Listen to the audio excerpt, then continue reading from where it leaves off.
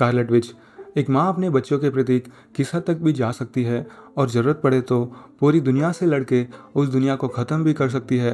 इसी चीज़ को हमने मल्टीवर्स ऑफ़ मैडनेस मूवी में देखा। लेकिन आखिर में वांडा का क्या हुआ? क्या वांडा गुजर चुकी है या फिर अभी भी ज़िंदा है?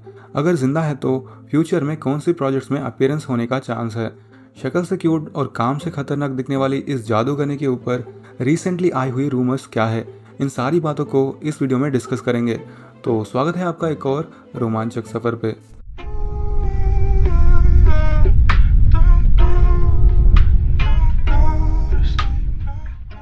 मार्वल कॉमिक्स को एमसीयू मूवीज़ को फॉलो करने वाले ऑडियंस को पता ही होगा, वांडा मैक्सिमोफ इतना आसानी से मरने वाली है नहीं। So basically Doctor Strange and the Multiverse of Madness movie के साथ वांडा क्या हुई, कहाँ गई, ये सवाल ऑडियंस के दिल और दिमाग में एक बड़ी क्वेश्चन मार्क बन गई। रूमर्स बता रहे कि स्कारलेट विच फ़िलहाल एक डॉर्मेंट स्टेट में है मतलब एक वीक वर्नरेबल और डिप्रेस्ड स्टेट वो भी विचेस रोड नाम का एक प्लेस में।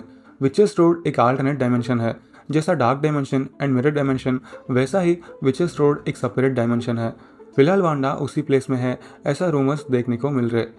Agatha Coven of Chaos series next year release होने वाला है, ये बात हम सबको पता है। इस सीरीज़ में अगाता के साथ, वांडा की दो बच्चों में से एक बिली मैक्समोफ भी होने वाला है, ऐसा कन्फर्मेशन आ चुका है। ये सीरीज़ रिलीज़ होने के बाद विचेस रोड नाम का एक स्पेशल प्रेजेंटेशन आने वाला है।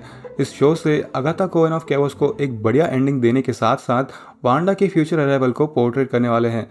वांडा विचेस रोड नाम का प्लेस में है तो इसका मतलब ये दोनों शोज़ में उनको दिखाएँगे, ऐसा बिल्कुल भी नहीं है। इनफैक्ट एक्टर एलिजबेथ ओल्सन ये दोनों शोज़ में फिजिकली अपेयर नहीं होने वाली बट इस सीरीज़ और स्पेशल प्रेजेंटेशन में आने वाली कन्वर्जेशन में उनके बारे में डिटेल्स रिवील करेंगे। विजन क्वेस्ट सीरीज़ की कहानी भले ही टॉम किंग लिखे हैं, लेकिन विजन कॉमिक्रॉन से भी इसकी स्टोरी को अडाप्ट करने वाले हैं। एक्चुअली इस कॉमिक में विजन का एक फैमिली होती है। वर्जीना नाम का एक वाइफ के साथ दो बच्चे भी होते हैं। ये सारे सिंथेसाइज्ड ह्यूमंस हैं। विजन की वाइफ वर्जीनिया को बनाने वक्त उसकी बॉडी में वांडा की ब्रेन वेव्स को लोड करता है। सो टेक्निकली वर्जीनिया में वांडा की कॉन्शियसनेस होता है। अब देखना पड़ेगा एम में आने वाला विजन को सीरीज़ में क्या दिखाएँगे। और यही नहीं वांडा का सेपरेट सोलो प्रोजेक्ट भी प्लान में है। ऐसा वांडा विजन टाइम में ही मेकर्स रिवील किए थे। बट वो कहाँ तक इम्प्लीमेंट किया गया, अभी तक कोई इन्फॉर्मेशन नहीं है।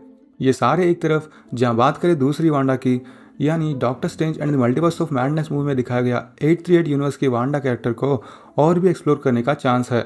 रिसेंटली आई हुई रूमर यह है, एट थ्री एट यूनिवर्स में वांडा मैक्सिमोफ का फादर के जैसा मैग्नेटो को दिखाने वाले हैं played by none other than actor Ian McKellen so X-Men fans के लिए ये एक ड्रीम कम्स ट्रू होने वाला है, क्योंकि कॉमिक्स में सच में वो दोनों फादर एंड डॉटर है। But six one six universe में वांडा एंड क्विकसिल्वर के पेरेंट्स को अभी तक रिवील नहीं किया। लेकिन अब एट थ्री एट यूनिवर्स में वांडा की स्टोरी इसी तरह आगे बढ़ने वाला है। इस एट थ्री एट यूनिवर्स की Wanda story directly Loki series and Deadpool three movie के साथ लिंक करने का चांस है। डेडपुल एंड वुलवरिन के साथ वांडा की स्टोरी क्यों लिंक होगा? ये डाउट आप में से कुछ लोगों को आया ही होगा। So basically Deadpool three movie पूरी तरह मल्टीवर्स को एक्सप्लोर करने में ही होने वाला है। सो so, उसमें एट थ्री एट यूनिवर्स को भी ज़रूर दिखाएँगे।